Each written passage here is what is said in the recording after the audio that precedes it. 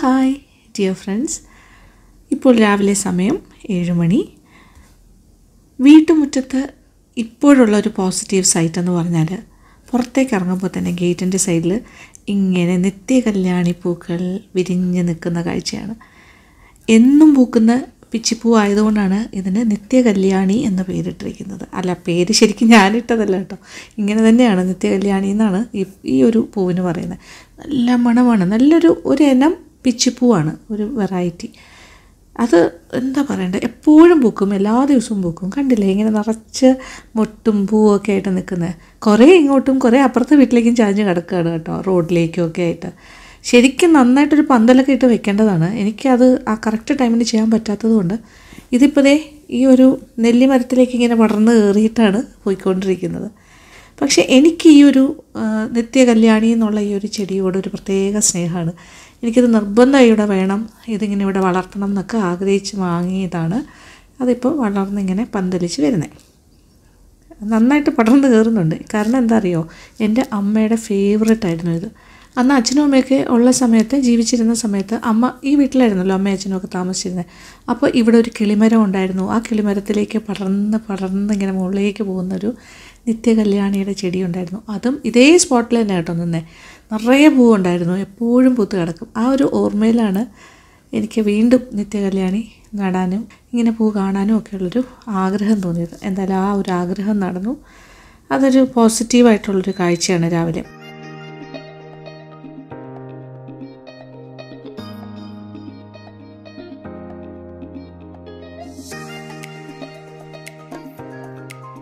പുറത്തേക്ക് ഇറങ്ങിയാലോ ഗേറ്റിന്റെ വെളിയിൽ? ഇതേ നോക്കിയേ.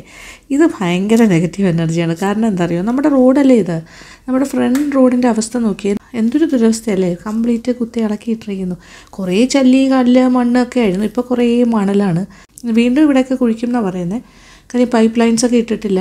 ഇത് പല പല എന്താ പറയുക പല ഡിപ്പാർട്ട്മെന്റ്സും കൃത്യമായി ഒന്നിച്ച് വർക്ക് ചെയ്യാത്തതിന്റെ പ്രശ്നങ്ങളാണ് കാണുന്നത്. അവർക്കൊരു സിങ്ക്രണൈസേഷൻ ഇല്ല അല്ലെങ്കിൽ ഒരു കോർഡിനേഷൻ ഇല്ല എന്ന് പറയാം. ഒരാളൊരു കാര്യം ചെയ്യുന്നു അടുത്ത ആൾ വന്ന് കുഴി ഉണ്ടാക്കുന്നു. എനിക്ക് തോന്നുന്നു ഇത് രണ്ട് വർഷത്തോളമായി ഈ റോഡ് പണി തുടങ്ങിയിട്ട്. സ്മാർട്ട് സിറ്റിയുടെ ഭാഗമാണ്. ഒരു കാര്യം നടക്കില്ല എന്ന് തോന്നുന്നത് ഇനി എത്ര കാലം പിടിക്കുന്നു അറിയില്ല. രാവിലെ തന്നെ അനുമോളും വിഷ്ണുമോനും കൂടി അമ്പലത്തിലേക്ക് പോകാനായിട്ട് ഇറങ്ങിക്കഴിഞ്ഞു ഇന്നൊരു സ്പെഷ്യൽ ഡേ ആണ് കേട്ടോ. ഈ സ്പെഷ്യൽ ഡേയെ കുറിച്ച് പറയാനാണ് ഞാൻ ഇന്ന് ഈ ഒരു വ്ളോഗ് ചെയ്യുന്നത്. ഇന്നത്തെ സ്പെഷ്യൽ ഡേ എന്ന് പറഞ്ഞാൽ ഞാൻ തമ്മിലിൽ പറഞ്ഞ പോലെ തന്നെ അതിൽ നിന്ന് തന്നെ ഏകദേശമൊക്കെ മനസ്സിലായിട്ടുണ്ടാവും എന്ന് വിചാരിക്കുന്നു. അതായത് ദൈവങ്ങളുടെ എല്ലാ അനുഗ്രഹം വേണ്ട ഒരു ദിവസമാണ്. അതുപോലെ തന്നെ കുടുംബത്തിലെ മുതിർന്ന ആൾക്കാരുടെയും കാരണവന്മാരുടെയൊക്കെ അനുഗ്രഹവും ഒക്കെ ആവശ്യമുള്ളൊരു ദിവസമാണ് വിഷ്ണുവിനും അനുവിനും ഒക്കെ. അപ്പോൾ അവരിപ്പോൾ നേരെ പോയിരിക്കുന്ന കരിക്കയം ക്ഷേത്രത്തിലേക്കാണ്.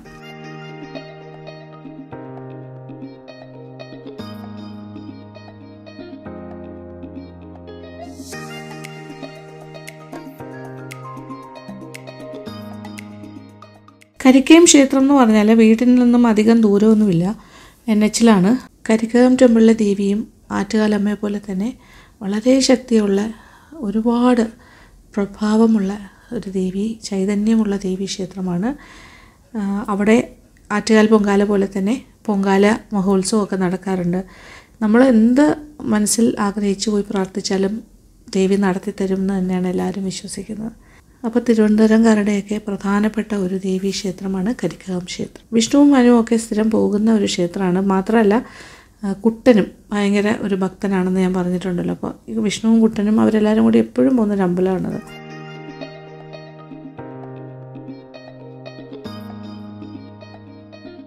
അപ്പോൾ കരിക്കകം ക്ഷേത്രത്തിൽ നിന്നും പ്രാർത്ഥിച്ച് കുറേ പ്രസാദവും പൂക്കളും ഒക്കെ ആയിട്ട് അനുകുട്ടിയും വിഷ്ണു തിരിച്ചിറങ്ങി. ഉണ്ണിയപ്പം അവിടുത്തെ ഒരു പ്രധാന വഴിപാടാണ്. പുണ്യപ്പം ഉണ്ട്. പിന്നെ അല്ലാണ്ട് കുറച്ച് ചന്ദനവും ഒക്കെ ആയിട്ട് തിരിച്ചുള്ള യാത്രയാണ്.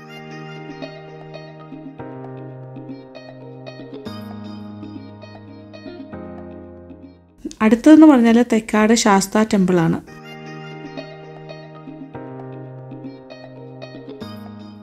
തെക്കാടുള്ള ശാസ്താവിന്റെ ഈ ക്ഷേത്രവും വളരെ വളരെ പ്രസിദ്ധമാണ്. വളരെ ശക്തിയുള്ള ഭഗവാനാണ് ഇവിടെ ഇരിക്കുന്നത്. ഇത് കുട്ടന്റെയും വിഷ്ണുവിന്റെയും ഒരു ഫേവററ്റ് ക്ഷേത്രമാണ് കേട്ടോ. അവർ സ്ഥിരമായിട്ട് വരുന്നൊരു അമ്പലമാണ്. അപ്പോൾ ക്ഷേത്ര ദർശനമെല്ലാം കഴിഞ്ഞ വിഷ്ണു അനുക്കുട്ടി എല്ലാം അപ്പോൾ അമ്മൂമ്മയുടെ വീട്ടിലെത്തിയിട്ടുണ്ട്. അപ്പോൾ ഇന്നത്തെ അവരുടെ പ്ലാൻ അനുസരിച്ചിട്ട് അമ്മൂമ്മയും വിഷ്ണുവാനും കൂടെ പ്ലാൻ ചെയ്തിരിക്കുന്നത് പുറത്തുനിന്നുള്ള ബ്രേക്ക്ഫാസ്റ്റാണ് അപ്പോൾ ആര്യനിവാസിലാണ് അവർ പോയിരിക്കുന്നത്. നല്ല വെജിറ്റേറിയൻ ഫുഡാണ് നമുക്ക് എന്ത് വേണം ദോശ എനിക്കൊരു മസാല ദോശ അമ്മൂമ്മ എന്ന് പറഞ്ഞാൽ വിഷ്ണുവിന്റെ ഏറ്റവും പ്രിയപ്പെട്ട ആളാണ്. He is very close to grandmother അമ്മൂമ്മയ്ക്കും അതുപോലെ തന്നെയാണ്. അപ്പോൾ അമ്മൂമ്മയായിട്ട് കുറച്ച് നേരം സ്പെൻഡ് ചെയ്യുക എന്നുള്ളത് പ്രധാനപ്പെട്ട ഒരു കാര്യമാണ്. എല്ലാ ആഴ്ചയിലും കുറേ സമയം അമ്മൂമ്മയായിട്ട് വിഷ്ണുവും അനുവും സമയം സ്പെൻഡ് ചെയ്യാറുണ്ട്. അങ്ങനെ മസാല ദോശയും എന്താ പറയുക പൂരി മസാലയൊക്കെ കഴിച്ചു എന്നാണ് പറയുന്നത്. നോക്കിയ എല്ലാ കാര്യങ്ങളും റെഡിയാണ്. വളരെ എൻജോയബിൾ ആയിട്ടുള്ളൊരു ബ്രേക്ക്ഫാസ്റ്റ് വെജ് ബ്രേക്ക്ഫാസ്റ്റ് അമ്മുമ്മയും വളരെ ഹാപ്പിയാണ് കുട്ടികളും വലിയ ഹാപ്പിയാണ് അപ്പോൾ ആര്യനിവാസിലെ ബ്രേക്ക്ഫാസ്റ്റ് കഴിഞ്ഞിട്ട് നേരെ വീട്ടിലേക്ക്. വിഷ്ണു അനുക്കുട്ടി അമ്മൂമ്മയെല്ലാം തിരിച്ച് പത്മനാർ വീട്ടിലെത്തി. അപ്പോൾ കുറേ നേരം വർത്താനമൊക്കെ പറഞ്ഞ് ഇവിടെ സമയം ഞങ്ങൾ സ്പെൻഡ് ചെയ്തു. അപ്പോൾ ഇന്നത്തെ വിശേഷങ്ങളാണ് ഞാൻ നിങ്ങളായിട്ട് ഷെയർ ചെയ്തുകൊണ്ടിരുന്നത്. ആഹ് അനക്കുട്ടിയും ഇന്ന് രാവിലെ മുതൽ അങ്ങനത്തെ അമ്പലം അങ്ങനത്തെ കാര്യങ്ങളൊക്കെ ഹൗസ് വിസിറ്റ്സ് അപ്പോൾ ഇനി സസ്പെൻസ് അധികം നീട്ടുന്നില്ല. വിഷ്ണുമോൻ പോകുന്നു എന്ന് ഞാൻ പറഞ്ഞു കഴിഞ്ഞല്ലോ. അപ്പൊ എങ്ങോട്ട് പോകണു എന്നുള്ളൊരു ക്വസ്റ്റ്യൻ ഉണ്ട് അല്ലേ? അപ്പോൾ മോനെ സംബന്ധിച്ച് ഒരു വീഡിയോ ഞാൻ ഇതിന് മുന്നേ ചെയ്തിരുന്നു. വിഷ്ണുവിന് ഡോക്ടറേറ്റ് കിട്ടിയ വീഡിയോ അല്ല. അപ്പൊ നിങ്ങൾ എല്ലാവരും കണ്ടതാണ്. അപ്പോൾ ഡോക്ടറേറ്റ് എല്ലാം കിട്ടി കഴിഞ്ഞപ്പോൾ വിഷ്ണുവിനൊരു പുതിയൊരു ജോലിയുടെ ഒരു ഓഫർ വന്നു. അത് നല്ലൊരു ഓഫർ ആയിരുന്നു ആക്ച്വലി പറഞ്ഞാൽ വിഷ്ണുവിന്റെ ട്രിവാൻഡ്രം വിട്ട് പോകാനൊന്നും അധികം പ്ലാൻ ഇല്ലായിരുന്നു. കൊച്ചി വരെ മാക്സിമം അതായത് ഇവിടെ ഓൾറെഡി പ്രാക്ടീസ് ചെയ്യുന്നുണ്ടായിരുന്നു. പിന്നെ റിസർച്ച് ആ കാര്യങ്ങൾ പിന്നെ അതുപോലെ ലോ അക്കാഡമിയിൽ ക്ലാസ്സസ് എടുക്കുന്നുണ്ടായിരുന്നു അങ്ങനെ ഫാക്കൽറ്റി ആയിട്ടും ഒക്കെ വർക്ക് ചെയ്തുകൊണ്ടിരുന്ന സമയമാണ് അപ്പോഴാണ് ഈ ഒരു ഓഫർ വന്നത് അപ്പോൾ വിചാരിച്ചു വൈ നോട്ട് നല്ലൊരു ഓഫറായിരുന്നു മാത്രമല്ല ഒരു ഇന്റർനാഷണൽ എക്സ്പോഷറാണ് അപ്പോൾ എല്ലാവരുമായിട്ട് ഡിസ്കസ് ചെയ്തപ്പോൾ അത് നല്ലൊരു ജോലിയായിട്ട് തോന്നി. അതുകൊണ്ട് ആ ഒരു പ്ലാന് മുന്നോട്ട് കൊണ്ടുപോകാനായിട്ട് തീരുമാനിച്ചു. അപ്പോൾ നിന്ന് ഒരിക്കലും പോകണ്ടെന്ന് അതായത് കേരളം വിട്ടു പോകാൻ ഒരു പ്ലാനും ഇല്ലായിരുന്നു. പക്ഷെ ഇപ്പൊ ഒരു ഇത് സ്ഥിരമാണോ എന്ന് എനിക്കറിയില്ല. പക്ഷെ തൽക്കാലം കുറച്ച് നാളത്തേക്ക് പോകണം എന്നാണ് തീരുമാനം. അപ്പോൾ അതിന്റെ ബേസിസിൽ പോകുന്ന സ്ഥലം എന്ന് പറഞ്ഞാൽ വളരെ അടുത്ത് തന്നെയാണ് ദുബായ് ആണ് ദുബായ് എന്ന് പറഞ്ഞാൽ നമ്മുടെ യൂട്യൂബ് ഫാമിലിയുടെ ഒരുപാട് ആൾക്കാർ ദുബായിൽ താമസിക്കുന്നുണ്ടെന്ന് എനിക്കറിയാം. അപ്പൊ നമ്മളെല്ലാവരും ഒരു എന്താ പറയുക വൺ ഫാമിലി അപ്പൊ നമ്മുടെ ഒരു എക്സ്റ്റെൻഡഡ് ഫാമിലി ആയിട്ട് തന്നെ ദുബായിൽ വിഷ്ണുവും അനുക്കുട്ടിയും നമ്മുടെ കുഞ്ഞുമോളും സരസ്വതി മോളും ഒക്കെ അവിടെ താമസം തുടങ്ങാൻ പോവാണ്. അപ്പൊ ഇപ്പൊ ആദ്യം വിഷ്ണു പോവും. വിഷ്ണു ഈ മാസം തന്നെ ജോലിക്ക് ജോയിൻ ചെയ്യുന്നു. അപ്പൊ ഒരു അസിസ്റ്റന്റ് അപ്പൊ അവിടെ ദാറ്റ് ഇസ് ദുബായിലെ ഒരു യൂണിവേഴ്സിറ്റിയിലെ അസിസ്റ്റന്റ് പ്രൊഫസറായിട്ടാണ് പോകുന്നത്. നല്ലൊരു ഓഫറാണ് കേട്ടോ. ഇന്ന് രാത്രിയാണ് വിഷ്ണു യാത്ര ചെയ്യാൻ പോകുന്നത് ദുബായിക്ക് പോവാണ്. ഇന്ന് നൈറ്റ് ഫ്ലൈറ്റ് ആണ്. ഏർലി മോർണിംഗ് ഫ്ലൈറ്റ് അപ്പൊ സത്യം പറഞ്ഞാൽ സങ്കടവുമുണ്ട് സന്തോഷവുമുണ്ട് എല്ലാം കൂടി ഒരു സമ്മിശ്ര വികാരമാണ്. കാരണം അത് ഒട്ടും എക്സ്പെക്ട് ചെയ്തതല്ല. ശരിക്കും പറഞ്ഞാൽ ട്രിവാൻഡ്രം വിട്ട് വിഷ്ണു പോകും അല്ലെങ്കിൽ കേരളം വിട്ട് പോകുന്നു അങ്ങനെ നമ്മൾ ആരും എക്സ്പെക്ട് ചെയ്തതല്ല. എങ്കിലും വിഷ്ണുവിന്റെ നല്ലതിനാണ് അവരുടെ ഫാമിലിക്ക് നല്ലതാണ്. കുറച്ചുകൂടി എക്സ്പോഷറും കുറച്ചുകൂടി നല്ല ഓപ്പർച്യൂണിറ്റീസും അങ്ങനെ. അപ്പോൾ അവരുടെ നല്ല കാര്യങ്ങൾക്ക് നമ്മളാരും അങ്ങനെ തടസ്സം നിൽക്കാൻ പാടില്ലല്ലോ. അപ്പോൾ നല്ല കാര്യങ്ങൾക്ക് നല്ല കാര്യങ്ങൾ സംഭവിക്കട്ടെ. കരിയറിൽ ഇനി ഇനി ഉയരങ്ങളിൽ എത്തട്ടെ എന്നാണ് എല്ലാവരുടെയും പ്രാർത്ഥന. അപ്പോൾ നിങ്ങളുടെ എല്ലാവരുടെയും പ്രാർത്ഥനയും അവരോടൊപ്പം ഉണ്ടാവുമെന്ന് എനിക്ക് നന്നായിട്ട് അറിയാം. എന്തായാലും നിങ്ങളോട് പറയാതെ പോകുന്നത് ശരിയല്ല. അപ്പോൾ ആ ഒരു സന്തോഷ വാർത്ത Vishnu. Yes hi hi guys അങ്ങനെ അമ്മ പറഞ്ഞതുപോലെ ഞാനിങ്ങനെ ഒരു ഷോർട്ട് ബ്രേക്ക് കുറച്ചാൾ ദുബായിൽ വർക്ക് ചെയ്യാൻ പോവാണ്. നല്ലൊരു ഓഫർ നല്ലൊരു ഓപ്പർച്യൂണിറ്റിയാണ് ഒരു ഇന്റർനാഷണൽ എക്സ്പോഷർ അങ്ങനെ ഒരു കരിയർ ഗ്രോത്തിന് നല്ലൊരു ഓപ്പർച്യൂണിറ്റി ആണെന്ന് തോന്നി. അപ്പൊ അങ്ങനെ ഒരു ഒരു short change of plans but ഞാൻ മാത്രമേ ഇപ്പൊ പോകുന്നുള്ളൂ അമ്മ പറഞ്ഞ പോലെ. അനുവും കുഞ്ഞും ഇവിടെ ഉണ്ട്. അവിടെ നിന്ന് എല്ലാം സെറ്റപ്പ് ആക്കിയിട്ട്. പിന്നെ അമ്മ ദുബായിലും ട്രിവാൻഡ്രത്തും ദുബായിൽ ഇനിയിപ്പോ ദുബായ്. അല്ലെ അടുത്തൊരു സെക്കൻഡ് റൂം അവിടെ കൂടെ തുടങ്ങുന്നു. കാര്യം എനിക്ക് അങ്ങനെ വിട്ടു നിൽക്കാൻ പറ്റില്ല. ഇടയ്ക്ക് അപ്പൊ കൂടുതൽ സമയം അങ്ങോട്ടും പോകും. മാഞ്ചസ്റ്ററിലും പോകണം അപ്പം ഞാനിങ്ങനെ കറക്കത്തിന്റെ അളവ് കൂടാനാണ് പോണെന്ന് തോന്നുന്നു. അല്ല ബോയിച്ചേട്ടനും എനിക്കൊണ്ട് വരും. ഇടയ്ക്ക് ബോയിച്ചേട്ടനും കുറച്ചുകൂടി അടുത്തായതുകൊണ്ടാണ് ബോയിച്ചേട്ടൻ അമ്മൂമ്മയും എല്ലാരും ഇനി അങ്ങോട്ടാണ് ഒരു കോൺസെൻട്രേറ്റ് അതാണ് ഇപ്പോഴത്തെ അല്ലെ നാല് മണിക്കൂറല്ലേ ഉള്ളൂ ഇവിടുന്ന്. അപ്പൊ കുറച്ചുകൂടെ ഈസി ആയിട്ടൊരു ഫീലിംഗ് ആണ്. അപ്പൊ എറണാകുളം വരെ പോകുന്ന പോലെ എന്നാണ് വിചാരിച്ചിരിക്കുന്നത്. അങ്ങനെയാണ് നമ്മളിങ്ങനെ പ്ലാൻ ചെയ്തിരിക്കുന്നത്. മെന്റലി എങ്ങനെയാണ് പ്രിപ്പയർ ചെയ്യുന്നത്? അല്ലെങ്കിൽ ദൂരെ പോകണമെന്നൊരു ഒരു സങ്കടം വരും. സങ്കടമൊക്കെ കുറയ്ക്കാൻ വേണ്ടിയിട്ട് ഇങ്ങനെയൊക്കെ ആലോചിക്കുന്നത് അപ്പൊ എന്തായാലും ഇതൊരു സന്തോഷ വാർത്തയാണ്. സന്തോഷ വാർത്ത നിങ്ങളായിട്ട് ഷെയർ ചെയ്തപ്പോൾ വിഷ്ണു എല്ലാവരോടും തുടങ്ങുന്നത് എല്ലാ ഗുരുജനങ്ങളുടെയും ബ്ലെസ്സിങ്സും ഒക്കെ മേടിച്ചിട്ടാണ് പോകുന്നത്. അപ്പൊ നിങ്ങളുടെ എല്ലാവരുടെയും വിഷസ് ആൻഡ് ബ്ലെസ്സിങ്സ് ഉണ്ടാവും എന്ന് വിചാരിക്കുന്നു. സന്തോഷം. ബാക്കി കാര്യങ്ങൾ അതെ. അപ്ഡേറ്റ് ചെയ്യും. അപ്പൊ ഇനിയിപ്പോ പെട്ടി അടുക്കൽ കാര്യങ്ങളൊക്കെ ഉണ്ട്.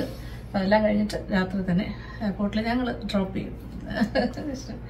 ഓക്കെ അപ്പൊ താങ്ക് യു ഇനിയിപ്പോൾ പാക്കിങ്ങിന്റെ ലാസ്റ്റ് മിനിറ്റ് വർക്കാണ് ഇവിടെ നടന്നുകൊണ്ടിരിക്കുന്നത്. ഇത് പ്രധാനമായിട്ട് വലിയ ഒരുപാട് കാര്യങ്ങളൊന്നും കൊണ്ടുപോകാൻ പറ്റില്ല. കാര്യം എമിറേറ്റ്സിലാണ് പോകുന്നത് കറക്റ്റ് പറഞ്ഞാൽ ഇരുപത്തഞ്ച് കിലോയുടെ ഒരു ബാഗ് കൊണ്ടുപോകാം. അതുകൂടാണ്ട് ഹാൻഡ് ബാഗേജായിട്ട് ഏഴ് കിലോ. അതാണ് അവരുടെ ഒരു പെർമിറ്റഡ് വെയിറ്റ് എന്ന് പറയുന്നത്. അപ്പോൾ അനുക്കുട്ടിയാണ് മെയിനായിട്ടും പാക്കിങ്ങിന്റെ എക്സ്പേർട്ട് കംപ്ലീറ്റ് പാക്ക് ചെയ്ത് കൊടുത്ത അനുക്കുട്ടിയാണ്. അപ്പോൾ ബാഗൊക്കെ എടുത്ത് വെച്ചിട്ട് ഈ എല്ലാം ഈ ലാസ്റ്റ് മിനിറ്റ് ആകുമ്പോൾ നമുക്ക് ഏറ്റവും ഇമ്പോർട്ടന്റ് ആയിട്ടുള്ള കാര്യങ്ങൾ കൊണ്ടുപോകണം. അപ്പോൾ കുറേ കാര്യങ്ങൾ കൊണ്ടുപോകാനുണ്ട്. പിന്നെ അതേസമയം ഏതാണ് ഇമ്പോർട്ടന്റ് ഏതല്ലാത്തത്? പിന്നെ വെയിറ്റ് അഡ്ജസ്റ്റ് ചെയ്യണമല്ലോ. അപ്പോൾ അങ്ങോട്ടും ഇങ്ങോട്ടും മാറ്റിയും തിരിച്ചും ഒക്കെ മാ വയ്ക്കുക എന്നുള്ളതിനപ്പുറത്തേക്ക് നമുക്ക് പല കാര്യങ്ങളും ഒഴിവാക്കാൻ പറ്റില്ല. പക്ഷേ നമുക്ക് കൊണ്ടുപോകാൻ ഇരുപത്തഞ്ച് കിലോയെ പറ്റുള്ളൂ. അതിന്റെ ഒരു ബുദ്ധിമുട്ടും ഉണ്ട്. അപ്പോൾ അങ്ങനെയുള്ള റീ അറേഞ്ച്മെന്റ്സ് ഒക്കെ ഇവിടെ നടന്നുകൊണ്ടിരിക്കുന്നു. അപ്പോൾ ഈ ഒരു എന്താ പറയുക വിഷ്ണുവിന്റെ യാത്രയുടെ ഭാഗമായിട്ടുള്ള ഈ ഒരുക്കങ്ങളും കാര്യങ്ങളിലും ഒക്കെ ഞങ്ങളെല്ലാവരും തന്നെ ഇവിടെ ഉണ്ട് കേട്ടോ. ബോച്ചറിന് ഇവിടെ ഇരിക്കുന്നുണ്ട്. സരസ്വതി മോൾ എന്റെ മടിയിലിരുന്ന് ഉറങ്ങുകയാണ്. പക്ഷേ ഇടയ്ക്ക് എഴുന്നേക്കും പിന്നെയും കിടന്ന് ഉറങ്ങും. അങ്ങനെയാണ്. ഇതൊരു ഡീപ്പ് സ്ലീപ്പല്ല ഒരു അല്ലാത്തൊരു സ്ലീപ്പിൽ ഇങ്ങനെ ഇടയ്ക്കിടയ്ക്ക് ഉണരുന്ന സ്ലീപ്പാണ് അങ്ങനെ ഏകദേശം പാക്കിങ്ങിന്റെ ലാസ്റ്റ് സ്റ്റേജിൽ എത്തിക്കഴിഞ്ഞു. അപ്പോൾ എയർപോർട്ടിലേക്ക് ഒരു പന്ത്രണ്ടര കഴിഞ്ഞ് ഇറങ്ങണം എന്നാണ് തീരുമാനം. ഇന്ന് മാത്രമല്ല കഴിഞ്ഞ രണ്ട് മൂന്ന് ദിവസമായിട്ട് വിഷ്ണുമോനും അനുക്കുട്ടിയും നമ്മുടെ ഏറ്റവും വേണ്ടപ്പെട്ട അച്ഛന്റെയും അമ്മയുടെയും ബന്ധു വീടുകളിലൊക്കെ പോയി എല്ലാവരുടെയും അനുഗ്രഹമൊക്കെ മേടിച്ചു കൊണ്ടിരിക്കുന്ന ദിവസങ്ങളായിരുന്നു. യാത്ര പറയലും ഇങ്ങനെ പോകുന്നു എന്നുള്ള കാര്യം എല്ലാവരെയും അറിയിച്ച് എല്ലാവരോടും എല്ലാവരുടെയും ബ്ലെസ്സിങ്സ് വാങ്ങിച്ചിട്ട് കാര്യം ഒരു പുതിയ ജോലിയിലേക്ക് പ്രവേശിക്കുകയാണ് ഒരു പുതിയ എന്താ പറയുക ഒരു ന്യൂ ലൈഫാണ്. അതായത് ഇതുവരെ ജീവിച്ച ജീവിതത്തിൽ നിന്നും കുറച്ച് മാറ്റങ്ങളാണല്ലോ ഇനി വരാൻ പോണത്. ഒറ്റയ്ക്ക് കുറേ ദൂരെ പോയി താമസിക്കുന്നു വിത്ത് ഫാമിലി. അപ്പോൾ എന്തായാലും രണ്ട് മൂന്ന് മാസം കഴിയുമ്പം അനുക്കുട്ടിയും സരസ്വതി മോളും കൂടി പോകുമല്ലോ. അത് കഴിഞ്ഞാൽ പിന്നെ അവർ പ്രവാസി ജീവിതത്തിലേക്ക് കടക്കുകയാണ്. അപ്പോൾ എന്തായാലും എല്ലാവരുടെയും അനുഗ്രഹം വേണം അപ്പോൾ എല്ലാ വീടുകളിലും പോയി അനുഗ്രഹമൊക്കെ മേടിച്ചു കഴിഞ്ഞു. എല്ലാവരോടും യാത്രയും പറഞ്ഞു. അപ്പോൾ ഒരു പന്ത്രണ്ടരയോടുകൂടി ഇവിടെ നിന്നും എയർപോർട്ടിലേക്ക് പോകണം എന്നാണ് വിഷ്ണു പറഞ്ഞത്. അപ്പോൾ അതനുസരിച്ചിട്ടാണ് എല്ലാ പ്ലാനിങ്ങും. അപ്പോൾ അനുക്കുട്ടിയുടെ കസിൻ സന്ധ്യയും സന്ധ്യയുടെ ഹസ്ബൻഡ് ശ്യാമും വന്നിട്ടുണ്ട്. വിഷ്ണുവിനെ യാത്ര അയക്കാനാണ് വന്നത്. അപ്പോൾ ഇനി എയർപോർട്ടിലേക്ക് പോകാനായിട്ട് എല്ലാവരും ഇറങ്ങി കഴിഞ്ഞു അപ്പോൾ സരസ്വതി മോളും വരുന്നുണ്ട് അച്ഛനെ യാത്ര അയക്കാനായിട്ട് എയർപോർട്ടിലേക്ക് അനുക്കുട്ടിയാണ് കാർ ഡ്രൈവ് ചെയ്യുന്നത്. വിഷ്ണുവുണ്ട് ബഹുചേട്ടനുണ്ട് ഞാനുണ്ട്. സരസ്വതി മോളും ഉണ്ട് അനുവിന്റെ കസിൻ സന്ധ്യയും ശ്യാമും തിരിച്ച് വീട്ടിലേക്ക് പോയി. നമ്മളോട് യാത്രയൊക്കെ പറഞ്ഞിട്ട്. വീട്ടിൽ നിന്ന് ഒരു പത്ത് മിനിറ്റ് പോലും വേണ്ട എയർപോർട്ട് എത്താനായിട്ട്. വളരെ ഫാസ്റ്റായിട്ട് തന്നെ നമ്മളവിടെ എത്തിക്കഴിഞ്ഞു. എയർപോർട്ട് പ്രൊമൈസസിൽ എത്തിക്കഴിഞ്ഞു. ട്രിവാൻഡ്രം ഇന്റർനാഷണൽ എയർപോർട്ടിലെ ഈ ഒരു സമയത്ത് ഒരുപാട് ഗൾഫ് സെക്ടറിലേക്കുള്ള വിമാനങ്ങൾ വരികയും പോവുകയും ചെയ്യുന്ന ഒരു സമയമാണ്. അപ്പോൾ അതിന്റെ ഒരു തിക്കും തിരക്കും ഒക്കെ എന്തായാലും എയർപോർട്ടിലുണ്ട് എയർപോർട്ടിൽ എത്തിക്കഴിഞ്ഞാൽ പിന്നെ ഒരുപാട് സമയമൊന്നുമില്ല. കാര്യം വിടാൻ പോകുന്ന ആൾക്കാർക്ക് അങ്ങനെ ഒരുപാട് നേരം വെയിറ്റ് ചെയ്തിട്ട് കാര്യമില്ല. അകത്തേക്ക് കടത്തി വിടില്ലല്ലോ. അപ്പോൾ നേരെ ട്രോളി എടുക്കുന്നു ബാഗ് എടുത്ത് വയ്ക്കുന്നു എന്നിട്ട് യാത്ര പറയുന്നു. അതുതന്നെയാണ് സാധാരണയായിട്ട് എല്ലാവരും ചെയ്യുന്നത്. അപ്പോൾ യാത്ര പറച്ചിൽ എപ്പോഴും സങ്കടം തന്നെയാണ്. സങ്കടമാണെങ്കിലും നല്ലൊരു ഭാവിയിലേക്കാണ് വിഷ്ണു പോകുന്നത്. അപ്പോൾ ആ ഒരു സന്തോഷം ഉള്ളിലുണ്ട്. എങ്കിലും യാത്ര പറച്ചിൽ എപ്പോഴും സങ്കടമാണ്. അങ്ങനെ എല്ലാവരോടും യാത്ര പറഞ്ഞ് വിഷ്ണു ദുബായിലേക്ക് പോകുന്നു. നിങ്ങളുടെ എല്ലാവരുടെയും പ്രാർത്ഥനയും വിഷ്ണുമോന്റെ കുടുംബത്തോടൊപ്പം ഉണ്ടാകണേ എന്ന് ഞാൻ ആഗ്രഹിക്കുകയാണ്. Thank you so much thank you for watching and keep on watching Lakshminath vlogs love you all